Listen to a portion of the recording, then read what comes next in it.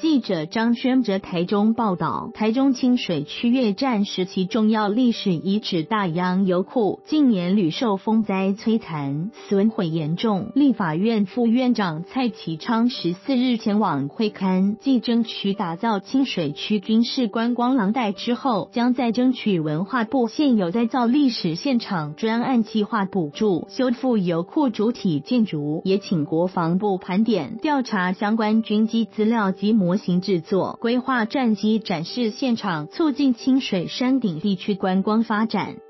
市定古迹大洋油库位于清水洋撮里，当年提供美军在越战期间战机所需用油。民国八十九年，军方拆除六座，仅剩下这一座存留。为了安全考量，油槽外围有一道防火墙，外环阶梯与钢板设计古朴，也是清水山顶地区无错、洋错、海丰等里主要景点。但近年油库一再遭风灾重创，损毁非常严重，锈蚀的。铁皮也弃置在草地上。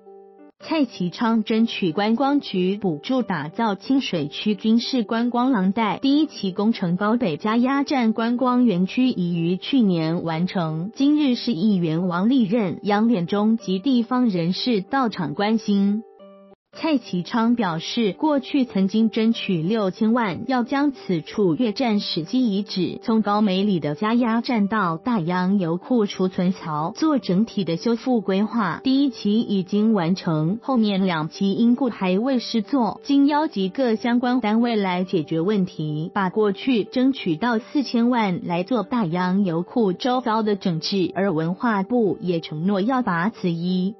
历史建筑加以做修复，整体园区规划加起来大约七八千万，希望可以把史迹遗址保存，周遭公园开发做规划整治。未来如果能将附近的鳌峰山运动公园游客串接至此，整个清水地区观光资源将更扩大，可以吸引更多人到清水观光旅游。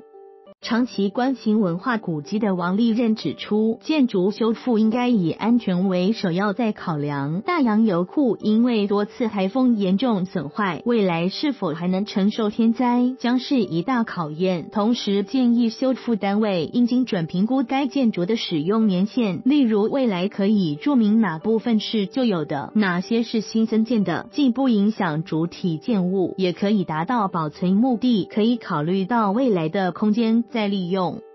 规划提供表演基地，或是附近国小孩童黎明运动的活动空间等等，更能充分达到修复案的效益。